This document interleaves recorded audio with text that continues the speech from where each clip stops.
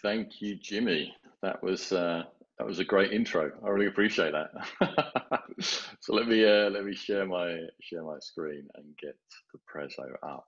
Thanks everybody for returning after after lunch. I appreciate. Uh, well, hopefully some of you have taken uh, Gail's advice um, and kind of uh, done some some some exercises, stretching and breathing to uh, to get yourself ready for the next part of today. So I'm going to be talking to you about Recruitment 3.0, the human tech partnership. And before I get into that, I just want to make a very clear statement. Leaders, this is absolutely for you. Recruitment isn't a process that you manage.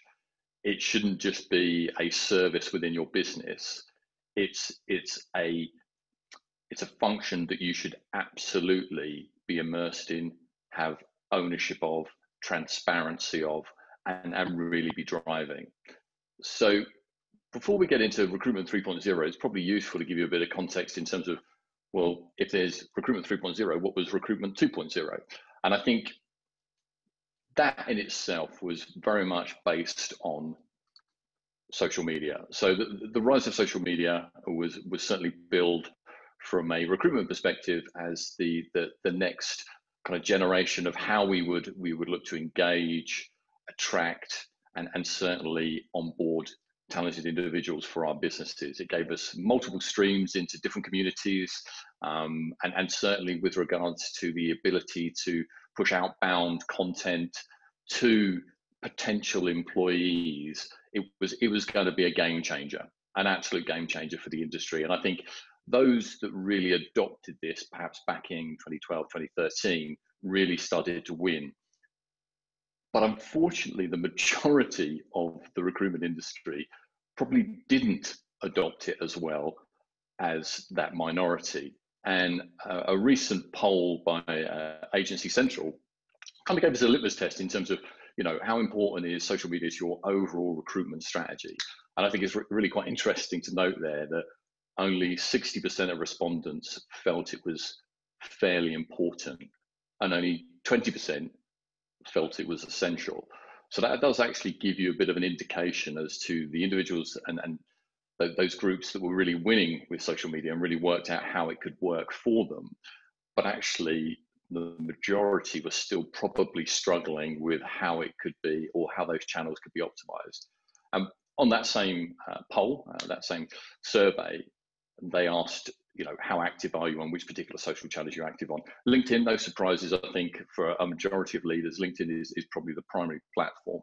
There might be a little surprise in there that certainly Twitter maybe came just after Facebook, because um, Twitter probably feels like a bit more of a premium platform than Facebook for talent acquisition. But actually, it, it isn't when you really start to look at how it can work for you. So, what did what did this mean? Recruitment 3.2.0, uh, sorry. What did what did it mean for businesses? Well, the, the reality was that you had a digital face on the front of a business. So you had a a, a recruitment process that offered different channels, uh, offered a, a, the potential for more engagement, more information, more transparency, more inclusion. But sadly, the, the reality was very different. In so much as behind that digital face, nay, actually that digital wall, there was a very traditional recruitment process, still underpinned by very traditional processes and very traditional approach to how somebody should be assessed, interviewed, and then on to the potential hiring decision. And I'll, I'll give you a couple of examples of this, this traditional approach, which I think will, will resonate with most. Job specifications were still written on the basis of experience, skills, and what we needed that individual to do in terms of the job. So, i.e., what tick box exercises responsibilities would they have? So, you had a 2D very traditional approach to outlining an opportunity. With that, you had mounting application levels. So an increase in application levels through all of these different channels that you'd you kind of outlined, increase in applications, and actually what suffered from that was probably the most key piece of currency for a potential applicant, which is feedback, which sadly I think really started to diminish the more channels we actually created for people and applicants to, to contact businesses. And then what you essentially had was new channels, but only one way to transit or uh, one linear pathway for all of these these applications. So irrespective of the diversity, irrespective of the the, the, the different types of individuals, their creativity levels, the different levels of experience, skills, different things they were bringing to the table, they were all still being channeled through a very traditional recruitment process, which I would venture probably doesn't do them and or the company justice. And this is one point I wanted to kind of kind of bring up. Um, and it's not meant to be confrontational, but within a traditional recruitment process, um, managers' intuition um, and that, that kind of final decision that's left with a manager on a hire or not could sometimes dependent on their capability levels of interviewing and don't get me wrong trust me being a really seasoned skilled interviewer takes time practice effort revision reflection and so at the lower end of that manager's intuition on a hire was i would always liken it to a really quite horrendous blind date where you're just not getting the right information at all. All of the signals are being picked up incorrectly. So, just to kind of surmise and stop us at this point, Recruitment 2.0 didn't really offer the gains I think the industry as a whole anticipated, and equally didn't really offer the gains I think applicants and individuals looking for jobs were hoping for as I mentioned, things like feedback suffered. I think in terms of the process, you had a, a, very digital front end, but a very traditional process still, and the and and the amalgamation of those two probably didn't deliver the the, the expected or the expectation and results that everybody was really really looking for and hoping for. So, recruitment 3.0 is the next step for the industry and I think for companies. And this is the very human first approach to recruitment, supported by technology, not technology in front of that human first approach. And I think, you know, look, we'll, we'll certainly all agree uh, globally, uh, we've been forced to pause and reflect for a number of reasons at this moment in time both uh, on a social level, on an economic level. And I think it's important to reflect, take that time to, to reflect on what was and what could be. So, as a leader, what three things am I going to leave you with hopefully today? The first is who are you trying to attract and engage and hire? How are you going to do that now? And what are the key considerations for you? So let's start with the who. And I think what I want to, to really outline here is it's been often used as a, as a phrase global talent. We have access to a global talent pool now.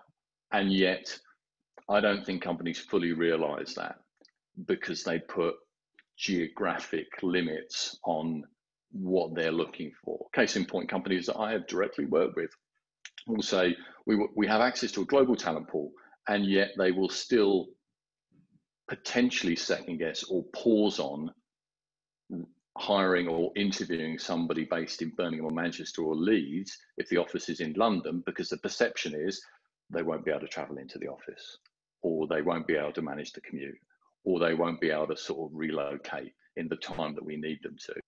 And as I said, recent developments have absolutely shown that now that we have had to work online, we have had to work virtually, productivity has been measured virtually, interactions and game engagements have happened virtually. It opens up the conversation for truly thinking about global talent and hiring globally. Because that's what you want as a leader.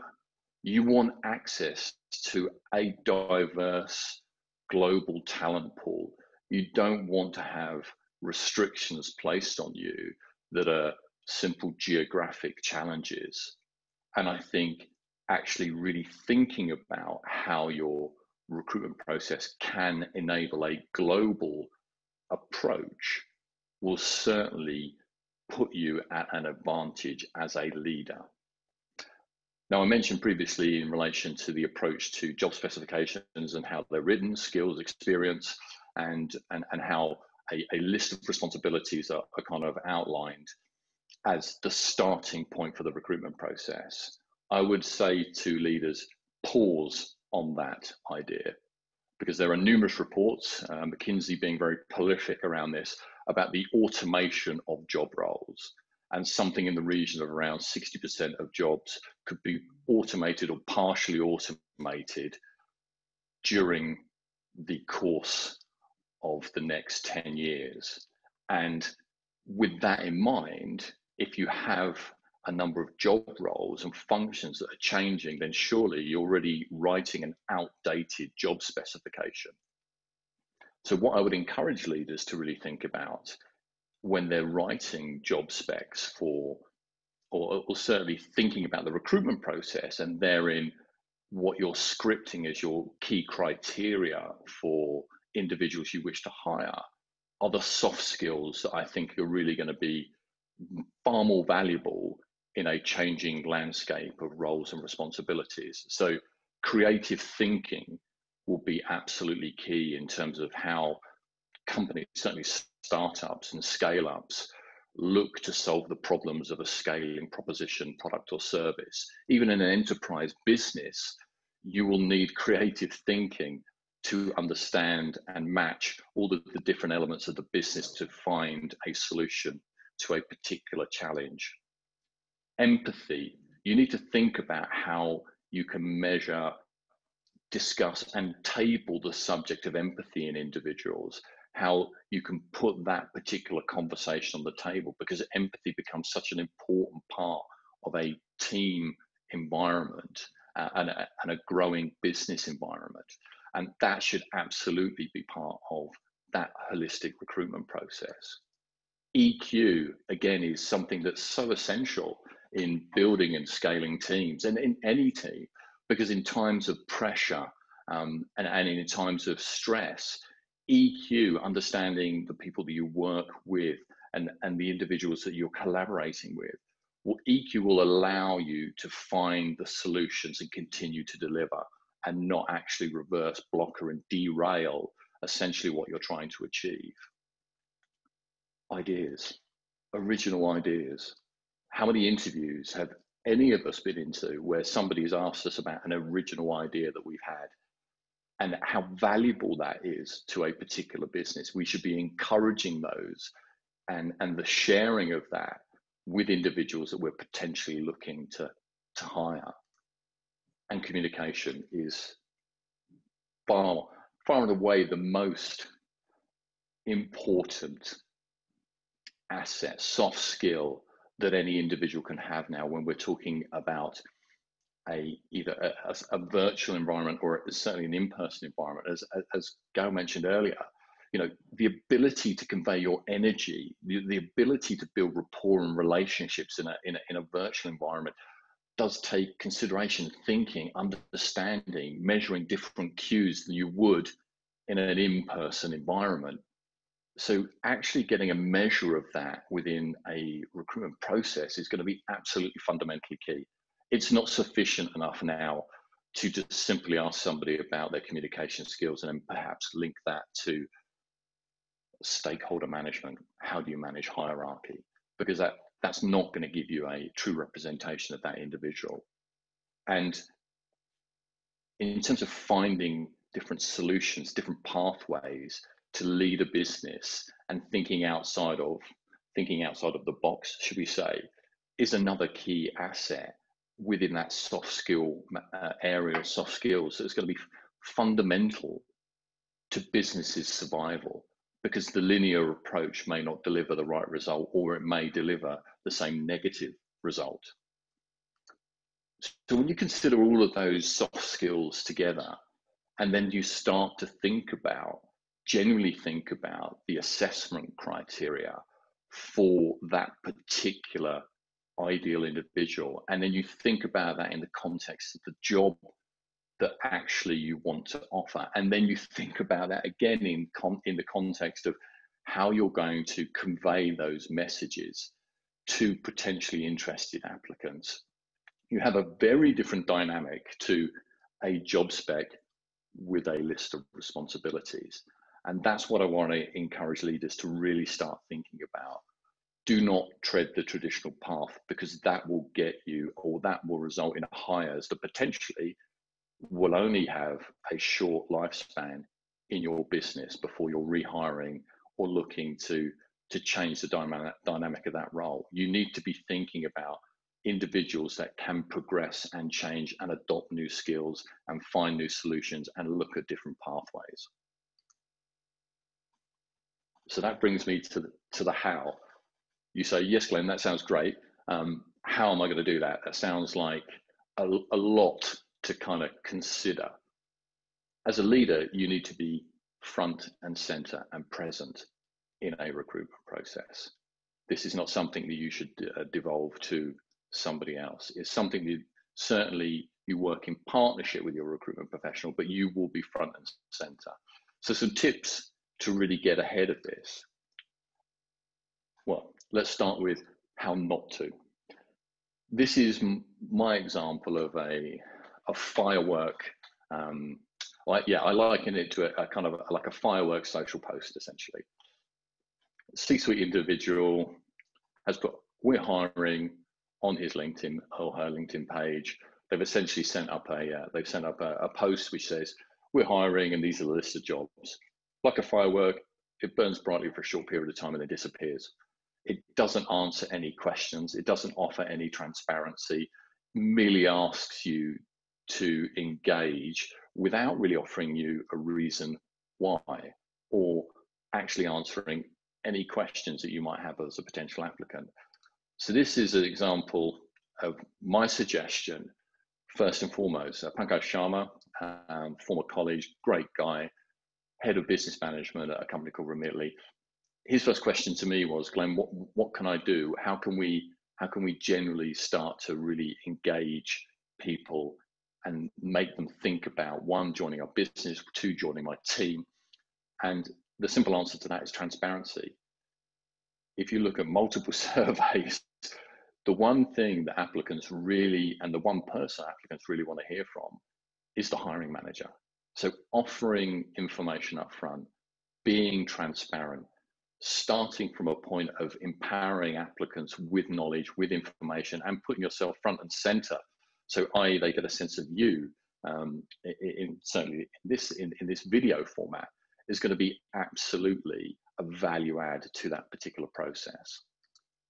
Equally, values. You need to you need to own the values. They can't just be a list of things on your website. You need to be able to articulate them. You need to be able to discuss them. You need to be able to reference them. One question I always have for leaders is you talk about values. Give me an example in the last week where you've seen, consciously or unconsciously, a team member act out or in a situation where they've they've taken a value and illustrated how that can be used in a business context. Because if you don't have those examples, then that values can seem very empty. And as a leader, you need to be an advocate for those values and you need to be able to discuss them and, and articulate what they mean. Now, this is another element where I think companies and, and do find it quite challenging. So this is taken from uh, the CIPD, which is, is, which is the governing body for HR and personal development. They say the seven dimensions of job quality are these pay and benefits, employee voice, relationships at work. And these are the sorts of things that potential applicants are going to want to discuss and that you are going to have to disclose and you are going to have to have a, either a policy around or certainly an understanding and appreciation of why they're important to the individual and be able to discuss them and articulate them. Again, it's about that transparency. It's about delivering value through the information and actually being very forthcoming in terms of your approach. And this feeds into ultimately content creation. So one of the challenges I think, um, and I reflect back to the poll at the beginning of the, the talk, one of the challenges for a lot of companies, I think, because around social media is content creation. They don't know what to what to create, why to create it, um, because they don't really have a starting point. And ultimately, what I've just outlined there are some key starting points that you can start to build content off the back of and actually start to share. So, by virtue of the things that you're willing to be transparent about and bring onto the table in terms of the recruitment process, you can build content around that, whether that's video based, whether that's kind of 2D posts, whether that's documentation. You can create that and actually have that as your content to share. And then social media becomes a lot more of a valuable channel. It's not just we have a job. So, the what? What to consider. We've done the who and the how, but what, what are the key considerations for leaders when you're really thinking about underpinning this new approach to recruitment and thinking about that human first approach with tech supporting it? So, diversity and inclusion isn't a policy or process, it's a mindset. Um, and that quote is from me because it is a mindset.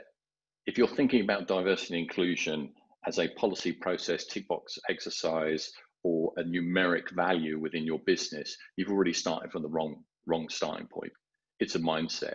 It's a it's a mindset of inclusivity. It's a mindset of understanding people, focusing on their soft skills, understanding their drivers, their motivations, and and and actually thinking about it from the perspective of the type of culture you want to create and actually looking at yourself, self reflection, and thinking, what work do I have to do on myself to ensure that I have a very diverse and inclusive mindset? And that can start with things like unconscious bias training um, and a number of other exercises that will really help you. And that's where it starts from you as a leader. You are the lightning rod for this. You should not be delegating this to a function to develop a policy and a process. It's something very meaningful and you need to own it. Culture. Now, I want to come back to a point that Margaret made this morning, actually, in terms of um, culture. And I took the quote here. She was like, How do you know a culture is improving? And that that is the question for leaders. How do you know, actually, before that, how do you know you have a culture? Because you need to be able to articulate it. You need to be able to discuss it. You need to be able to share it. You need to be able to discuss it with other team members, colleagues. If it's something that's that tangible, you have a culture.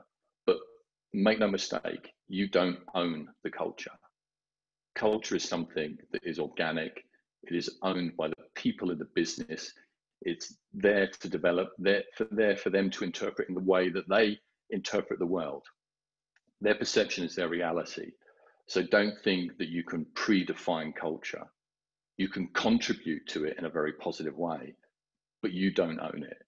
You can foster it, but you can't direct it. And one question on the basis of, of culture and environment, I always like to ask leaders is Would you hire your best friend? Would you recommend that your best friend work for your company. If the if the reaction from them is you are amazing, this is amazing, you should join us, that's a good litmus test. But if you have reservations about hiring your best friend into your business, you have a question to answer. I jumped ahead a slide there understanding recruitment. So recruitment is a catch-all term for some. Get me a recruiter. Let's hire a recruiter. Let's let's let's get some recruitment in the business. There are very different definitions to the type of kind of recruitment professional you could hire, and that has a differentiation in terms of delivery, process, process improvement, strategic approach, policy. So when you're talking about recruitment, you need to be really clear about who you're hiring and for what reason. Now, as illustrated here, sourcers are very much at the delivery end, finding potential interested individuals, all the way through to a head of people that looks at the strategic approach to people, the policy, all the way down through to delivery. So you do need to be clear on who you're hiring and why to help complement that particular recruitment process you're, you're looking to put into place. And partnerships are key. Don't think of partnerships as recruitment agencies only, because that would be a, a, it would be a mistake, in my opinion. There are a number of partnerships that you can develop that will allow you access to different types of uh, talent pools, which will actually feed into some of the challenges you have across uh, the diversity of the people you have in your business, the types of skills that you want access for. So three, three here are three great examples. Code First Girls, social enterprise um, that is, is driven by getting females into tech. Eric is addressing the long, well, very long, uh, and, a legacy of poor career advice for creatives, and specifically focused on, on kind of uh, Gen Z, and doing some really interesting things around helping companies understand why perhaps they aren't accessing the talent that they're looking for, but equally allowing facilitation of a conversation between people that are interested trying to get into the industry. Radical Recruit, again, a fantastic uh, social enterprise that is effectively looking to help underrepresented uh, minorities getting into work. So that's people uh, from uh, you know kind of ex-offender backgrounds, that, and they're driving this change. So when you have these kind of meaningful partnerships, you're really starting to look at a very different landscape when it comes to your your recruitment process. And I guess to to my my my final point around the the virtual environment that we find ourselves in at this moment and some of the conversations that I've had both with peers and colleagues within the industry and equally with businesses is you know what are we going to take from this period of social isolation are we going to take forward any of the processes any of the the things that we've started to do that we didn't do previously and and make them a, a kind of mainstay of the, the kind of overall recruitment process and things like video interviewing or purely constructing a process that is based on virtual um, hiring. Because what we have now is a dynamic of an individual looking for a job has a choice. They know now that it is perfectly possible to conduct a hiring process 100% remotely. Now, to them, that adds value because obviously it gives them time back, less travel. Actually, they can make quicker decisions because obviously the timeline is moving more quickly. And actually, the time to hire could potentially be reduced, which is benefiting both sides. Equally, businesses, when you think about the time and energy the leaders need to uh, allocate to a recruitment process, video offers a really very good and positive solution to that that that dichotomy of time and time allocation. But therein lies the, the juxtaposition of I think a lot of individuals still want that in person part of an interview. And I think we, we do need to pay attention to that. But equally, I would challenge leaders, unless you have perhaps a um, uh, some sort of uh, kind of gait analysis as part of your your overall measurement of an individual, maybe some sensory analysis um, to kind of gauge gauge you know the, the the kind of potency of their their aftershave gait analysis in terms of how they walk how they walk into an office or maybe some sort of physical or, or, or sort of uh, you know some sort of uh, yeah something that's focused around the, the kind of physical nature of an individual like a handshake and the pressure of a handshake unless any of those elements are absolutely embedded in the assessment criteria, I would venture that you can get all the information you need from an individual in a video interview. If you immerse yourself in it, if you give your energy to it, if you really think about what you want to achieve, and if you really think about how you can build rapport and set the scene for this particular interview to get the most out of the interviewee, because that is your responsibility. They are not there just to answer questions. You have to set the scene and you have to create an environment where they are happy and confident to exchange information, really valuable information. And this comes into the, the assessment process. So now with a number of kind of virtual tools that we can utilize to make you know video interviews a lot more engaging, virtual whiteboards, assessment tools, it, it does enable a, a, very different format for the, the overall interview process, which could be far more challenging, engaging, and actually far more interesting for the interviewee. You do need to think of the stimulation factor in an interview process. It's not sufficient because that that links into how they perceive your company, how they perceive you. Do, do not make the mistake that a candidate, an individual looking for an opportunity, goes into an interview process fully convinced that this is the opportunity for them. Every touch point they have with your business is either making them make a decision to take a step closer or step away from your business. So, back to my point around decision making. Think about, firstly, the type of person that you want to hire and in its entirety, that person in their full 3D entirety, not in relation to just skills and experience on a job spec. Think about the recruitment process that you are going to put in place, the, the, the assessment criteria, the journey, the candidate experience that is going to be on offer for this individual. As leaders, think about how immersed you're going to be in this process, in both the creation and execution of it, and get to a point where you can make very informed and balanced decisions on the people that you want to hire.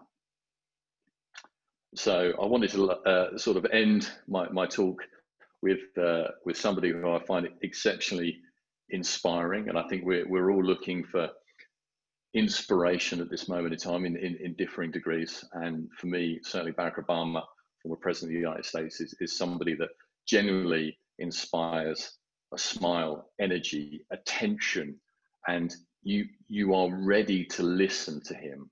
And if I could if I could set a, uh, a very high benchmark for any leader that wants to really be immersed in the recruitment process, model yourself on on someone like Barack Obama, somebody that really immerses themselves in something that that is exceptionally important to them. And this should be exceptionally important to you because recruitment is about people, and those people are in your business.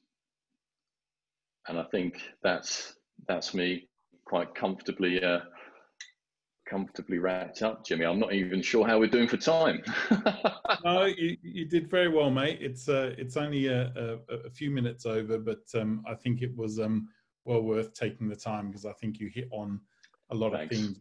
I'm sure we can all uh, all relate to. I, I, yes, I've been involved in interviewing for a long time, and I can I can I can reminisce on on your description of recruitment 2.0. Um, I'm just gonna. We have um, we have about ten minutes, so um, I'm just going to uh, go to some questions now. I'm, I'm selfishly going to throw in one that popped up in my head um, whilst you were speaking, but uh, I won't lead with that because that would just be uh, too selfish. Let me grab um, water.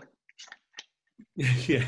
So um, yeah, I'll, I'll, talk slowly so you can have a have a chug. Yeah. Oh, we're good. Right. So um, this is a good one. Um, question is time is a key consideration mm. for any leader how can they manage their time to be present in the interview process without it being too much of a time suck Mm.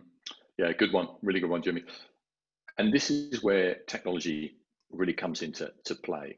So you need to firstly think about the, the, the content that you're going to share, the information you're going to share, the channels you're going to share them on, and then how to create that so it's really meaningful and engaging. Because yeah, I mean, you you can't be available for every interview, you can't be available for every question that comes in from a potential applicant. But actually, what you can do to better serve your time is think about the questions that you're going to get and offer that information front loaded. So it's either part of that initial job description, job overview.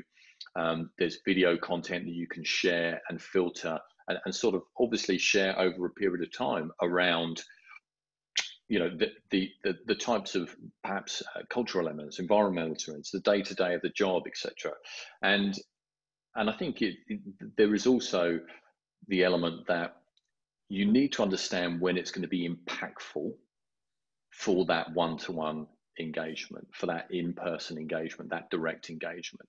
And all of these things need to be considered in its, in its entirety before you go to market and start actually trying to engage and attract individuals. So, as I said, technology I think can really be a facilitator um, and you know, video is a great example of that. How you can utilize video, and we've been doing that over the last day or so, and certainly over the last week or so, to mm-hmm. share information about this this virtual summit in terms of what we're talking about, the personality, the people, the people behind the subject matters, and I think that's really really valuable. So it's it's again taking that into consideration before you launch that that kind of go to market um, and and start announcing you have an opportunity within your business. Excellent, very good. I, I, will I will go to my question if if I may be so bold. Um, of course. I introduced you as as, sort of specializing in the um, the, the startup and the scale up recruitment mm. process or organizations in that phase of their growth. And I detected a few years ago a, a real trend against the anti sort of big company corporates from a lot of youngsters who were just starting their working mm. careers. Now, I'm, I'm too old to actually understand all the generations X, Y, Z's and all of that, but I'm, I'm sure you know it better than me. So the question I have is what what do you think is different or unique about perhaps the types of candidates that um, are deliberately looking to become part of a a startup or a an early stage company rather than perhaps going into a, a massive mm. global hundred thousand person company? Yeah, Good question. Really good question. And it's it's two things: how those large scale companies communicate and the language they use, compared to how startups and scale ups communicate and the language that they're using.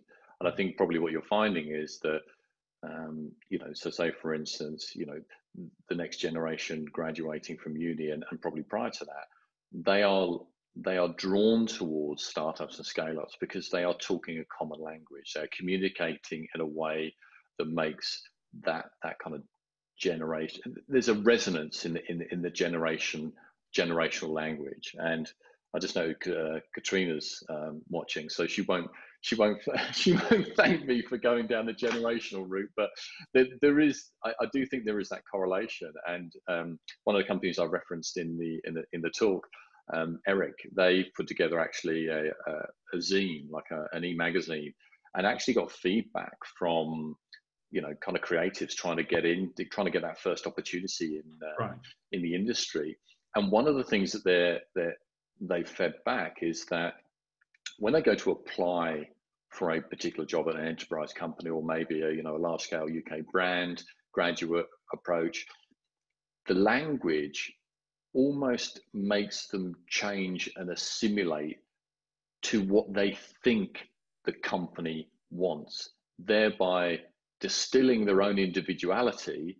And actually, they also feel that perhaps some of those large scale enterprise companies don't value the broader skill set they bring together. So, or they bring to the table. So, case in point, if you were, you know, applying for a software engineering grad, um, you know, kind of uh, graduate position, you'd be judged on your degree, any experience within the, mm-hmm. the kind of software industry.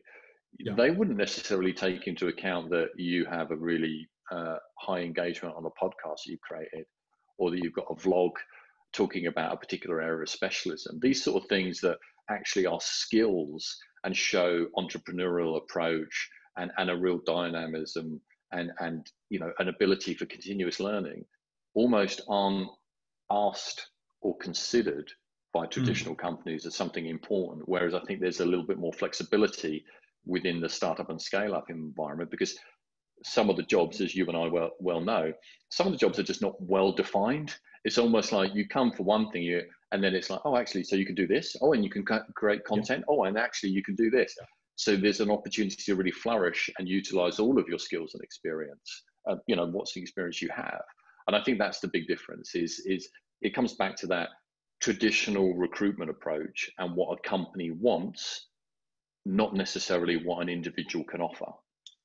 Yeah, yeah, and I agree. And I think um, I think from my experience, to Margaret's point about predicting the future, often startups and scale ups start a journey with a specific goal in mind, and then mm-hmm. events and opportunities transpire, which means they change to that that multi-purpose, flexible, perhaps less yeah. um, less sort of a cookie cutter uh, definitely approach. Yeah, is is, is definitely probably... because that, that's it. Is you know startups are not necessarily on a linear path, right?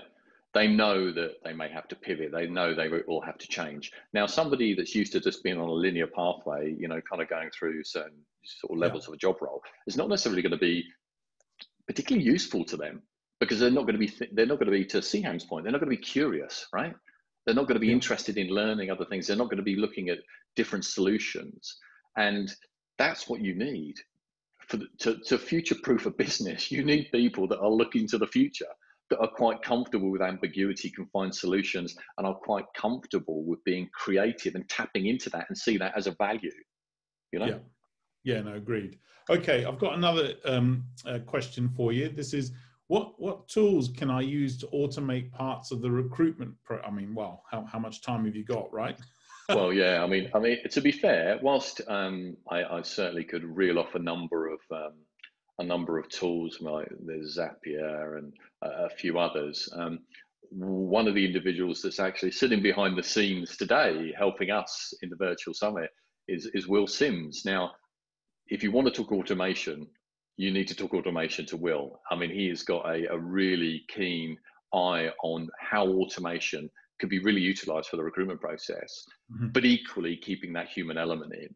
So I think you, yeah, it, my my advice would be don't start with the tool, start with what you want to achieve, and then build the tool in to facilitate that.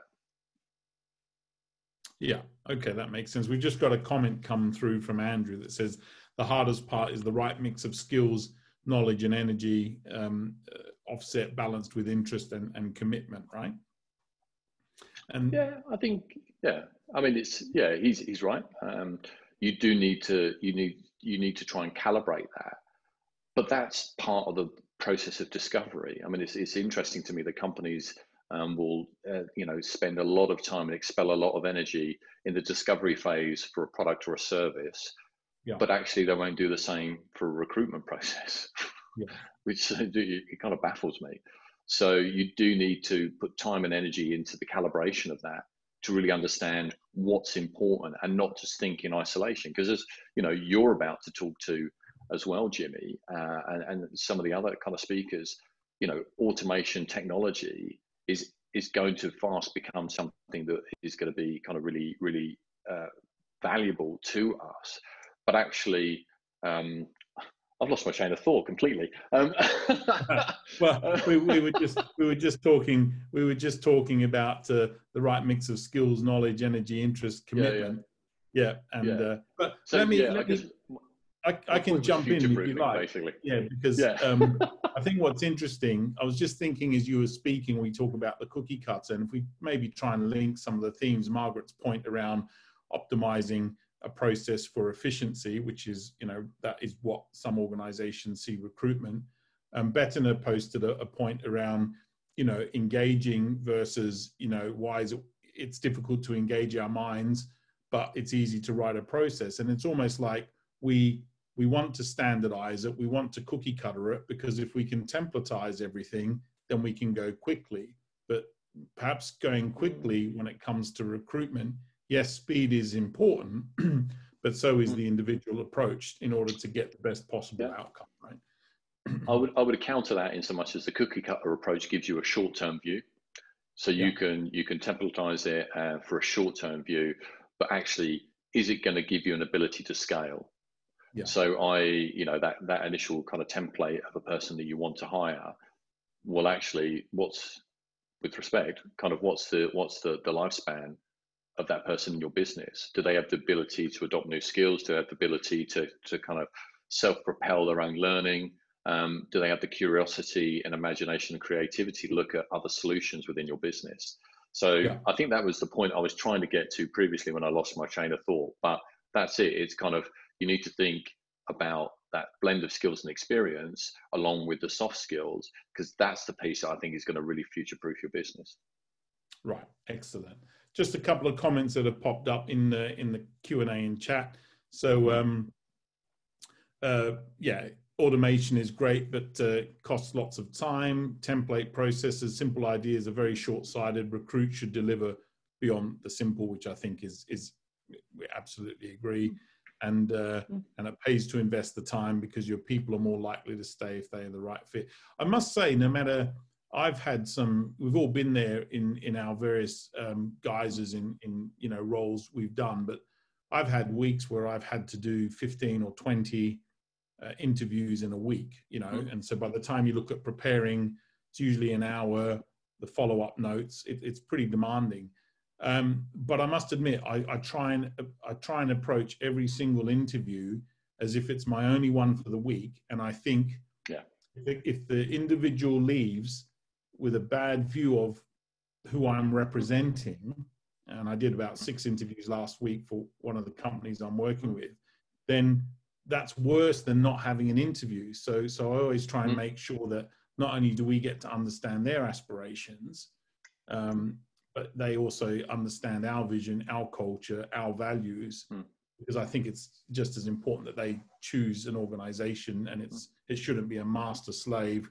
We're going to pick you from the crowd. It should be, you know, is Definitely. this a mutually beneficial partnership? Yeah. So, and equally yeah. as well, you, by not providing more information at the beginning of a process, you're not giving individuals much opportunity to self-select in terms of you're actually asking them to come into a recruitment process to learn more to make a decision.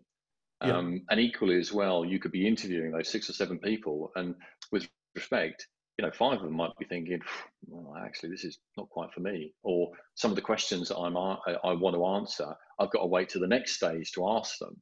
And yes. actually, that could be, you know, when you talk about time efficiency, I'm thinking about both parties here. I'm thinking about yeah. you as an interviewer and that individual taking out time to be interviewed.